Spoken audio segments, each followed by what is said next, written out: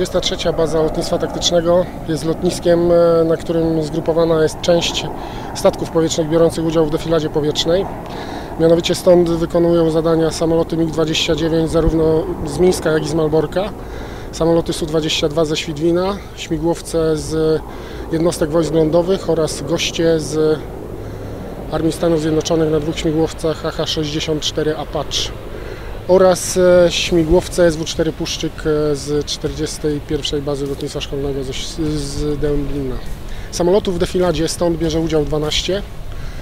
12 samolotów odrzutowych, 6 MiGów 29 i 6 Su-22 oraz 25 śmigłowców.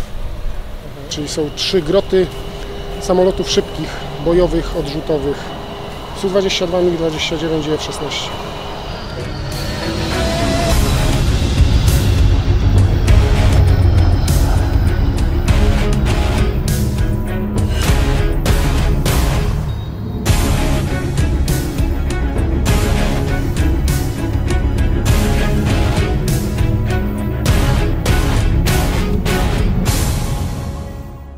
MiG-29 realizuje zadania w systemie obrony powietrznej głównie. Jest to samolot, którego nie da się zakwalifikować do kategorii wielozadaniowej. Jest to typowy samolot myśliwski, który sprawdza się w zadaniach realizowanych w obronie powietrznej. Dlatego też e, samoloty MiG-29 wykorzystywane są głównie do pełnienia dyżurów bojowych w systemie obrony powietrznej, nie tylko w Polsce, bo cyklicznie pełnimy dyżury również e, na terenie państw bałtyckich, jako że NATO zabezpiecza ochronę przestrzeni powietrznej tych państw nie posiadających własnych sił powietrznych, będąc, mogących realizować tego typu zadania.